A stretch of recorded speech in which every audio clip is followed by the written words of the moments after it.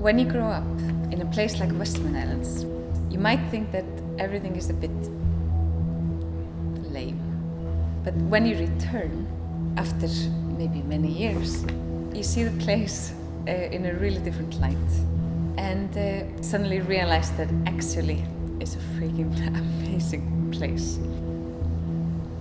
Growing up here has been one of our inspirations because we really like to use all these flavors from from the nature that we recognize uh, from our childhood, just like sorrel or rhubarb or seaweed. The, these are just all flavors that we implement in in our our cooking. These are flavors that send us back to our childhood family of fishermen and chefs and one artist uh, wanted to work on something that would bring the family together. And we created Slippurinn.